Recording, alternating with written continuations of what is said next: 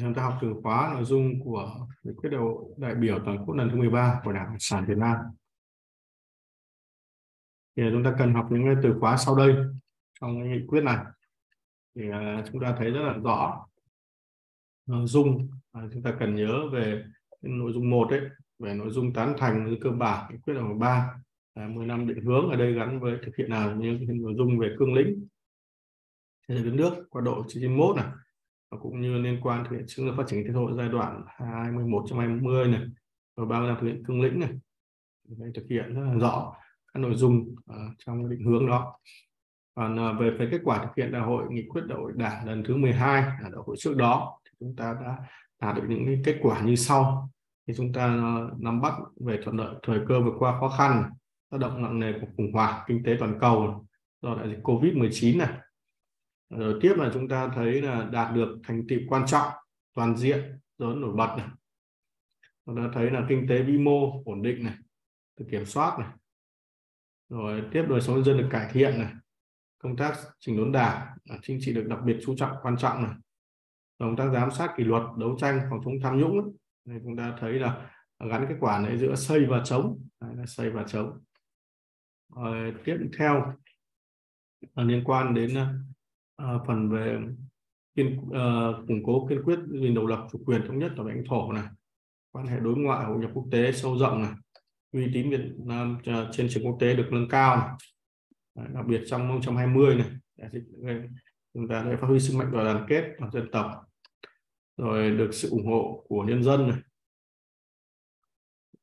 rồi tiếp theo là ở dưới những cái thành tựu mà 5 năm đã đạt được à, ta thấy là nó qua từ nguyên nhân nói như nào thấy là liên quan đến cái cái tinh sáng tạo trình bền bỉ của toàn đảng toàn dân toàn quân này. Rồi đạt uh, có nguyên nhân nữa là bao trùm nhất là bao sự lãnh đạo chỉ đạo hiệu quả của ban chấp hành trung ương bộ chính trị ban thư các cấp ủy đảng này. À, rồi chúng ta thấy nữa là sự nỗ lực của uh, đổi mới nội dung phương thức hoạt động của quốc hội đồng dân này đồng bộ của hệ thống chính trị nỗ lực của cán bộ đảng viên này. Đấy là những thành tựu à, bên cạnh đó thì chúng ta thấy có những hạn chế bên cạnh thành tựu thì thấy là à, cái việc mà hoàn thiện thể chế mô hình tăng trưởng đấy, còn chậm cái thứ còn chậm sẽ là hạn chế rồi năng suất chất lượng hiệu quả cạnh tranh là chưa cao này. Đấy, rồi giáo dục đào tạo hoặc công nghệ là chưa thành động lực then chốt phát triển kinh tế xã hội này về lĩnh vực văn hóa này thì chúng ta thấy chưa nhiều đột phá hiệu quả chưa cao này. đời sống bộ phận nhân dân là khó khăn này về tài nguyên môi trường này thì thấy còn bất cập này à, lĩnh vực quốc phòng đến đối ngoại còn hạn chế này. Sức mạnh đoàn kết dân tộc thì chúng ta thấy là chưa được quan tâm đầy đủ này. Rồi xây dựng nhà nước pháp quyền này. À, chưa đáp ứng được vai trò phát triển đất nước. Đấy thấy là những hạn chế rất là rõ đúng không ạ? Và chúng ta thấy là cái 10 năm thực hiện cương lĩnh thực hiện các đường lối à, khẳng định đây là chúng ta đạt những kết quả rất quan trọng đúng không ạ? Bên cạnh đó thì có những hạn chế đúng không ạ? À, làm thế cụ thể à, về kết quả khẳng định đường lối của chúng ta đúng không ạ? À, đối ngoại được tăng cường đời sống vật chất được cải thiện. Nhưng mà chúng ta thấy là kết quả về về kinh tế xã hội là chưa tiềm xứng với tiềm năng. À, một số chỉ tiêu phát triển kinh tế trong chiến lược 10 năm à, à, tạo thành để hướng thành công nghiệp hiện đại là chưa đạt được. À, tôi nhớ cái này là chưa đạt được mục tiêu đề ra. À, rồi chúng ta thấy tiếp vào công cụ đổi mới à, lượng thực tiễn tập trung giải quyết vấn đề. Định hướng chúng ta thấy là giải quyết à, các mối quan hệ lớn nhanh vững vững. Và 30 năm thực hiện các đổi mới này cương lĩnh đất nước này chúng ta thấy là càng ngày càng hoàn thiện và được hiện thực hóa. À, và quy mô nền kinh tế được à, nâng lên đời sống thì được cải thiện. Đất nước ta thì à, đã những thành tiệu trong 30 năm thực hiện cương lĩnh 3 năm thực hiện đổi mới thì chúng ta khẳng định con đường đi lên chủ nghĩa xã hội là phù hợp ở trên Việt Nam tiếp theo này chúng à, ta à, tầm nhìn và định hướng phát triển. Thì trong những năm tới chúng ta thấy là ở mục hai đấy thì à, chúng ta thấy là đặt ra nhiều vấn đề mới còn là phức tạp hơn đúng không ạ? Đối với xây nghiệp xây dựng bảo vệ tổ quốc và đổi mới mạnh về tư duy này dự báo chính xác nên biến thành chủ động đối phó mọi tình huống này. À, rồi chúng ta không ngừng gia tăng tiềm lực mọi mặt này. Về quan điểm chỉ đạo nắm kỹ các quan điểm như sau quan điểm đầu nhất thứ nhất là kiên định vận dụng sáng tạo chủ nghĩa Mác-Lênin tư tưởng Hồ Chí Minh kiên định mục tiêu đoàn dân tộc chủ nghĩa xã hội kiên định đường lối đổi mới của đảng các nguyên tắc xây dựng đảng và bảo đảm uh, lợi ích cao nhất của dân tộc trên cơ sở nguyên tắc cơ bản hiến trương hợp quốc rồi gắn uh, kết chặt chẽ triển khai đồng bộ nhiệm vụ phát triển kinh tế xã hội uh, thì là trung tâm đúng không ạ? Còn xây dựng đảng là then chốt uh, còn phát triển văn hóa là nền tảng tinh thần bảo đảm quốc phòng là trọng yếu thường xuyên đấy là quan điểm thứ hai. Quan điểm thứ ba là chúng ta khơi dậy tinh thần yêu nước ý chí tự cường dân tộc. Đấy là rõ. Rồi thúc đẩy đổi mới sáng tạo ứng dụng khoa học công nghệ. À, quan điểm là thứ tư là kết hợp sức mạnh dân tộc với sức mạnh thời đại. Và phát huy tối đa à, nội lực tranh thủ ngoại lực. Quan điểm thứ năm là tăng cường là chỉnh đốn đảng như bản chất giai cấp công nhân của đảng nâng cao lãnh đạo thẩm quyền chiến đấu của đảng. Rồi xây dựng nhà nước tinh gọn hoạt động hiệu quả xây dựng một cán bộ đảng viên, nhất là cấp chiến lược người đứng đầu là uy tín trong toàn nhiệm vụ. Đấy, thì chúng ta thấy là có năm quan điểm à, rất là rõ à, quan điểm chỉ đạo à, hiện theo tinh thần của nghị quyết đại hội đảng lần thứ 13 tiếp theo là chúng ta đi vào mục tiêu tổng quát trong nghị quyết đại hội. Thì tổng quát ở đây bao gồm nâng cao lực lãnh đạo, cầm quyền chiến đấu của đảng, rồi xây dựng đảng trong sạch, chính trị mạnh rồi tăng cường niềm tin của nhân dân đối với đảng. Rồi khơi dậy các phát triển đất nước. Rồi đẩy mạnh toàn diện công cuộc đổi mới hiện đại hóa bảo vệ xây dựng bảo vệ vững chắc tổ quốc. À, phân đấu chúng ta nhớ 121 này chúng ta trở thành nước phát triển theo định hướng xã hội chủ nghĩa. Nhớ đến giữa thế kỷ 21 ta mốc đó. Thế là mục tiêu cụ thể là ta cần học kỹ hơn chúng ta thấy có rất nhiều câu hỏi. 120 năm chúng ta sẽ kỷ niệm 50 năm giải phóng miền Nam chúng ta sẽ đạt được mục tiêu cụ thể là nước đang phát triển có công nghiệp cao hướng hiện đại vượt qua mức thu nhập thấp mức 130 đó là mức ta kỷ niệm 100 năm thành lập đảng của Việt Nam ta sẽ là nước đang phát triển có nền công nghiệp hiện đại thu nhập trung bình cao gần mức 145 Đấy, lúc mà chúng ta kỷ niệm 100 năm thành lập uh, nước Việt Nam Dân Chủ Cộng Hòa đấy. thì uh, bây giờ đảng là nước Cộng hòa Việt Nam đấy thì trở thành nước phát triển đấy, thu nhập cao đấy. thì chúng ta thấy mấy chục năm nữa là chúng ta trở thành nước phát triển thu nhập cao rồi năm nay trong 23 nhỉ? Hai hai năm nữa thôi. Đấy, lúc đấy em có hơn 40 tuổi nhỉ? Ông thầy lúc thấy thì hơn 60 tuổi. Là thành nước phát triển đấy thu nhập cao. Nhưng còn giai đoạn 30 mươi à, nước đang phát triển thu, thu nhập trung bình cao mốc hai năm tới. Trong hai năm thì chúng ta thấy đang phát triển và thu nhập trung bình cấp.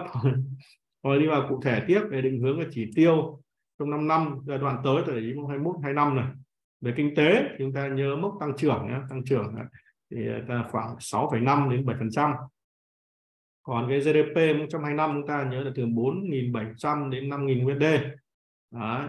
còn à, liên quan các nhân tố tổng hợp với tăng trưởng đạt khoảng 45 phần trăm rồi tốc độ tăng năng suất xã hội bình quân là 65 phần trăm trên năm Đó. thì lại đô thị hóa thì là khoảng 45 phần trăm thì lệ công nghiệp chế biến à, chế tạo à, trên ờ, 25 phần trăm kinh tế số chúng ta nhớ nhá kinh tế số là đạt 20% GDP đấy là về kinh tế. Còn về xã hội thì mốc trong hai năm này ta thấy tỷ trọng nông nghiệp này. À, thì ta nhớ là trong tổng lao xã hội là khoảng 25 phần trăm lao động qua đào tạo là 70 phần trăm. Tỷ lệ thất nghiệp ở khu vực thành thị mốc trong hai năm là dưới 4 phần trăm. Tỷ lệ nghèo đa chiều duy trì từ 1 đến 1,5 phần trăm. Còn à, về bác sĩ thì ta có 10 bác sĩ và 30 giường bệnh trên một vạn dân tỷ lệ tham gia bảo hiểm xã hội. Mức 125 là 95 phần trăm dân số.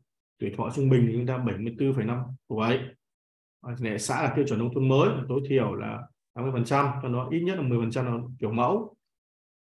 Đây là về xã hội kinh tế xã hội. Tiếp theo là về môi trường. Về mức 125 này chúng ta thấy tỷ lệ sử dụng nước sạch vệ sinh này. À, của thành thị là 90 đến 100 phần trăm. Nông thôn là 93 đến 95 tỷ lệ thu gom xử lý chất thải. À, rắn đấy thì chúng ta nhớ theo quy chuẩn là 90 phần trăm. Tỷ lệ khu công nghiệp khu chế xuất à, xử lý nước thải là thế là 92 phần trăm. Để cơ sở môi trường à, được xử lý đúng không? Là 100 phần trăm. Tỷ lệ che phủ rừng ổn định là 42 phần trăm. Thấy các cái mục tiêu cụ thể nha rất là rõ. Trong uh, giai đoạn 21 25 đúng không? Rõ là trong 25 về kinh tế đúng không ạ? Xã hội môi trường còn về định hướng phát triển đất nước giai đoạn trong 21 trong 30 phải có những định hướng như sau. Thứ nhất là tiếp tục của mạnh mẽ tư duy xây dựng hoàn thiện đồng bộ thể chế phát triển kinh tế, chính trị văn hóa tư tưởng, môi trường. Hai, hoàn thiện à, toàn diện đồng bộ thể chế, trường định hướng sau chủ nghĩa. Rồi chúng ta thấy là bảo đảm định kinh tế vĩ mô mô hình tăng trưởng này cấu hạ tầng này. Ba là định hướng về đột phá, đổi mới các bản toàn diện đào tạo. Ờ, thu hút trọng dụng nhân tài.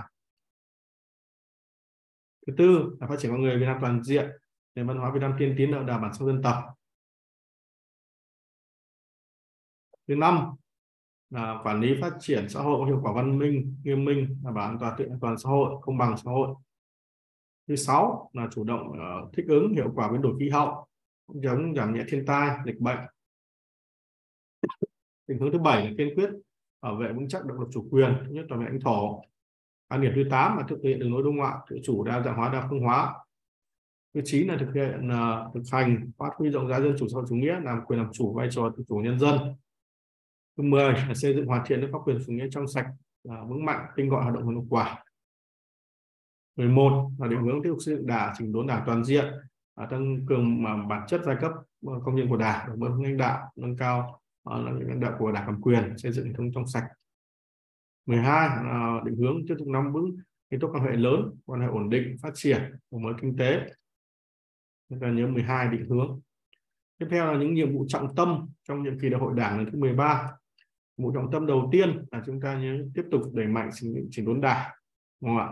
Trong đó thì chúng ta nhớ cái đoạn mà tiếp tục đẩy mạnh phòng chống quan liêu tham nhũng lãng phí lợi ích nhóm này biểu hiện tự diễn biến thì hóa trong nội bộ còn xây dựng đội ngũ đảng viên các bộ cấp nhất là cấp chiến lược đứng đầu phẩm chất năng uy tín năng tầm nhiệm vụ.